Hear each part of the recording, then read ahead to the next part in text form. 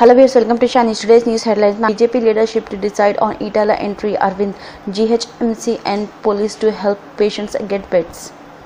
BJP members of parliament from Nizamabad, D. Arvind said party leadership will decide about welcoming former health minister Etala Rajender if the latter evinces interest in joining the saffron party.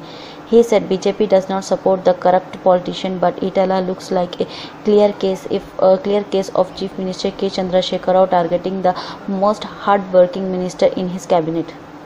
The Greater Hyderabad Municipal Corporation, in collaboration with Hyderabad Police, have decided to coordinate to help COVID-19 patients and their family members seeking help outside the government hospital in the city.